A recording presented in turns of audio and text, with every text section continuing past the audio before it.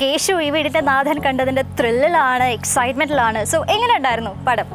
ഇല്ല പടം നമ്മൾ ആദ്യം ഓരോ പടവും നമ്മൾ ഷൂട്ട് ചെയ്യുമ്പോൾ പ്രത്യേകിച്ച് ഹ്യൂമർ പടങ്ങൾ ഷൂട്ട് ചെയ്യുമ്പോൾ അത് സ്ക്രിപ്റ്റ് വായിക്കുമ്പോൾ നമുക്കറിയാം അതിന്റെ ഒരു മൂഡ് അങ്ങനെ പോകുന്നു. പിന്നെ ഷൂട്ട് ചെയ്യുന്ന സമയത്ത് അത് എത്രത്തോളം ഇമ്പ്രൂവൈസേഷൻ വന്നു എത്ര ശതമാനം അത് പിക്കപ്പ് ആയിട്ടുണ്ട്.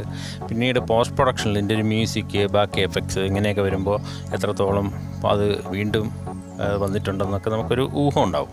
പക്ഷേ എത്രയൊക്കെ പറഞ്ഞിരുന്നാലും എന്റെ അനുഭവത്തിനകത്ത് നമ്മൾ ഈ ചിത്രം തിയേറ്ററിലോട്ട് ഇറങ്ങി ബാക്കിയുള്ള ഫ്രഷായിട്ട് കാണുന്ന ഓഡിയൻസിനോടൊപ്പം ഇരുന്ന് കാണുമ്പോൾ മാത്രമാണ് ശരിക്കും പറഞ്ഞാൽ അതിന്റെ റിസൾട്ട് കിട്ടത്തുള്ളൂ. ഒരുപാട് സ്ഥലങ്ങളിൽ ചിലപ്പോൾ പല സിനിമകൾക്കും നമുക്ക് ജഡ്ജ്മെന്റ് തെറ്റിയിട്ടുണ്ട്. പക്ഷേ പല സ്ഥലങ്ങളിലും നമുക്ക് ജഡ്ജ്മെന്റ് കിട്ടിയിട്ടുണ്ട്. ഈ ചിത്രത്തിനെ സംബന്ധിച്ചോളം നൂറ് ശതമാനവും സാറ്റിസ്ഫൈഡ് ആണ്.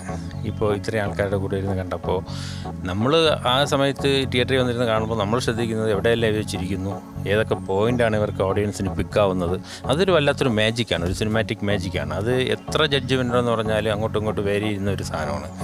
അപ്പോൾ ഈ ഈ ഈ ചിത്രം ആക്ച്വലി സജിയുടെ സ്ക്രിപ്റ്റ് ഞാൻ ആദ്യം വായിച്ചു. സജി പഴുവിന്റെ സ്ക്രിപ്റ്റ് വായിച്ചപ്പോൾ തന്നെ ഇതിലൊരു നല്ല സിനിമയുണ്ടെന്ന്. വളരെ സിമ്പിളായിട്ടുള്ള മാറ്ററാണ് പക്ഷേ വളരെ ഭംഗിയായിട്ട് അതിൽ സ്ക്രിപ്റ്റ് ചെയ്തിട്ടുണ്ട്. അത് കഴിഞ്ഞ് നാദിർ ഡയറക്ടറാണെന്ന് അറിഞ്ഞപ്പോഴത്തേക്ക് എനിക്ക് ഒരുപാട് സന്തോഷമുണ്ടായിരുന്നു. കാരണം നാഷിയുടെ ഒരു എല്ലാ ചിത്രങ്ങളും ഞാൻ കണ്ട് ഭയങ്കരമായിട്ട് എൻജോയ് ചെയ്യുന്ന ആളാണ്. മാത്രമല്ല എനിക്ക് ഭയങ്കരമായിട്ട് ഹ്യൂമർ ചിത്രങ്ങൾ ചെയ്യാൻ ഇഷ്ടമാണ്. അങ്ങനെ വളരെ സന്തോഷത്തോടു കൂടിയാണ് ഈ ചിത്രത്തിൽ ഞാൻ വർക്ക് ചെയ്യാൻ വന്നത്.